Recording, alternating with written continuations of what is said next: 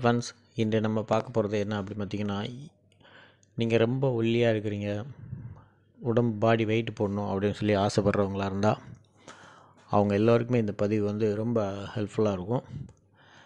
இந்த பதிவில் யார் யார் பார்க்குறாங்களோ அவங்க எல்லாருக்குமே கண்டிப்பான முறையில் உடல் நல்லா சைஸும் வெயிட்டும் அதிகமாகும். நீங்கள் என்ன தான் நல்லா சாப்பிட்டோம் நாங்கள் நல்லா தான் சாப்பிட்றோம் நல்லா உணவு எடுத்துக்கிறோம் ஆனால் எங்கள் உடம்பு வந்து வெயிட் போட மாட்டேது நான் ஜி ஜிம்முக்கு பண்ணணும் அப்படின்னு சொல்லி ஆசைப்பட்றோம்.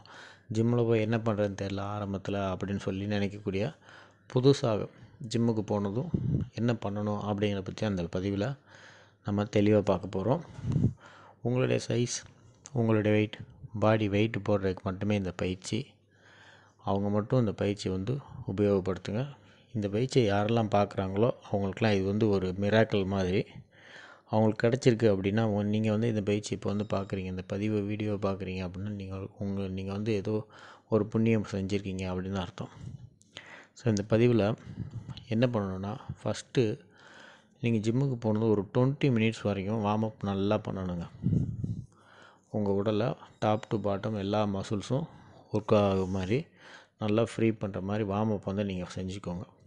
வார்ம் அப் செஞ்சதுக்கு அடுத்து நீங்கள் செய்யக்கூடிய முதல் பயிற்சி என்ன அப்படின்னு பார்த்தீங்கன்னா ஸ்குவாடு பண்ணணும். ஸ்குவாடு அதாவது தோள்களில் வெயிட்டை வச்சுக்கொண்டு உட்காந்து உட்காந்து எழுந்திரிக்கக்கூடிய இந்த பயிற்சியை தான் நாம் பண்ண போகிறோம் முதல் பயிற்சி ஸ்குவாடு இந்த ஸ்குவாடில் உங்களுக்கு எவ்வளோ எடை தூக்க முடியுமோ அவ்வளோ எடையை நீங்கள் மாட்டிக்கோங்க. மாற்றிக்கொண்டு ஒரு பன்னெண்டுலேருந்து பதினைந்து ரெப்பு வரைக்கும் நீங்கள் வந்து உபயோகப்படுத்தலாம். அஞ்சு செட்டு வந்து செய்யணும். இது வந்து கால்களுக்கான ஒரு பயிற்சி.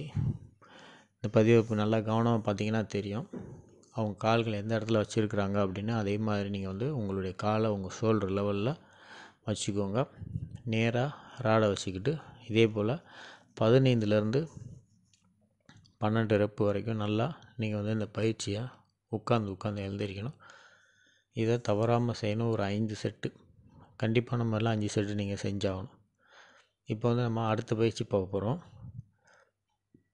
இந்த ரெண்டாவது பயிற்சி கைகளை சரியாக பிடிச்சிக்கொண்டு உங்கள் தோள்கள் லெவலில் பிடித்துக்கொண்டு குனிந்து குனிந்து அதே மாதிரி வெயிட்டை வந்து தூக்கணும். டெட்லிஃப்ட் இந்த டெட்லிஃப்ட் வந்து அதே போல் அஞ்சு செட்டு பண்ணணும் நீங்கள் ஒரு பன்னெண்டு முதல் பதினைந்து ரெப்பு இதுவும் அதே மாதிரி நீங்கள் வந்து இந்த பயிற்சியும் ஐந்து செட்டு இதில் வரக்கூடிய அனைத்து பயிற்சிகளையுமே நீங்கள் வந்து ஒரு அஞ்சு அஞ்சு செட்டுகள் வந்து செஞ்சாகணும். அப்போ தான் உங்களுக்கு உடல் வந்து நல்லா கிடைக்கும். இது போக நீங்கள் வந்து எக்ஸ்ட்ரா எந்த ஒரு பயிற்சியுமே இந்த ரொட்டீனை ஃபாலோ பண்ணும்போது எந்த ஒரு பயிற்சியும் நீங்கள் வந்து எக்ஸ்ட்ரா வந்து பண்ணக்கூடாது. இப்போ நம்ம இந்த அடுத்த பயிற்சியை பார்க்க போகிறோம். ஷோல்டருக்கான பயிற்சி. இந்த பயிற்சி மில்ட்ரி ப்ரெஸ்ஸு. இது வந்து உங்கள் ஷோல்டர் லெவலில் பிடிச்சிக்கோங்க. கைகளை பார்த்தீங்கன்னா பா ஷேப்பில் இருக்கும். இந்த மாதிரி நீங்கள் பிடிச்சிக்கொண்டு வெயிட்டை வந்து உங்கள் தலைக்கு மேலே தூக்கணும். ஷோல்டர் கழுத்து வரைக்கும் நீங்கள் வே பார்பில் இறக்குனா போதும். இதே போல் கீழே இறக்கி இறக்கி மேலே ஏற்றணும் அதுவும் ஒரு பன்னெண்டு முதல் பதினைந்து ரெப்பு அஞ்சு செட்டு செய்யணும். ஷோல்டருக்கு ஒரே ஒரு பயிற்சி. ஒவ்வொரு தசைக்கும் ஒரு ஒரு பயிற்சிகள் மட்டுமே நம்ம செய்கிறோம் இன்றைக்கி அதற்கு அடுத்து செஸ்ட்டுக்கான பயிற்சி.